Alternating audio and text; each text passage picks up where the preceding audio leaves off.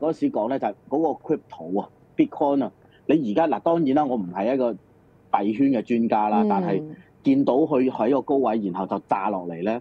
誒、呢一段咧，如果 for 我哋一啲唔係日日炒緊幣嘅朋友咧，其實呢一段時間係非常之極難操作，所以咧未買咧就可以等一等，唔好咁心急。如果買咗咧，自己緊守住啲啲啲止賺位，都係需要減貨，因為 Bitcoin 一定要再提醒，本身就係一啲極高風險嘅嘢。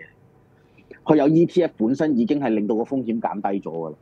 即係你話放大槓桿嗰啲，直情係同賭錢冇分別。所以誒、如果大家係新手未買未買過 crypto 嘅，唔呢一個時間唔 favor 新手，唔好喺呢件事去做啦，唔好而家去做啦。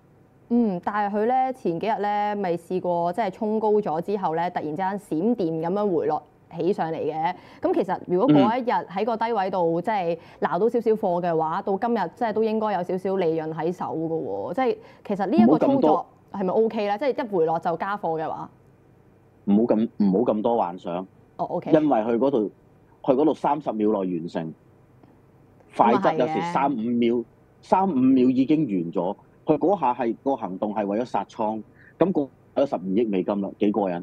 咁你你唔好去諗呢啲操作做唔做得到，你要去諗誒誒誒，我而家點樣係能夠最舒服地贏到？咁而家呢一個時間一定唔係最舒服地贏到 Bitcoin 啦。嗯，咁咁咪就係等下先啦。即係嗰啲概念股嗰啲都一樣㗎啦，係咪？我見即係 Michael Strategy 咧，其實都幾嗯嗯誇張㗎近期，即係佢有時又升兩成，有時又跌成成一成幾咁樣。即係呢一類型嘅概念股係咪都唔跟進咧？唔跟進 Coinbase、MARA、MicroStrategy 所有唔好亂嚟啦，算數啦。嗯即係你要你要走去買嘅，你等低位買啲誒、呃、現貨 ETF 又好，你買三零六六又好，都 OK。但係呢一啲嘅概念股，佢本身第一因為 P 因為 Bitcoin 而走去炒，你連 Bitcoin 掌你 Bitcoin 呢個 underlying 嘅當佢 underlying，你掌握唔到。咁其他嗰啲，佢嗰、個佢嗰個波動咁大，你點點樣去拿捏咧？咁既然係咁，就不如就唔好搞啦。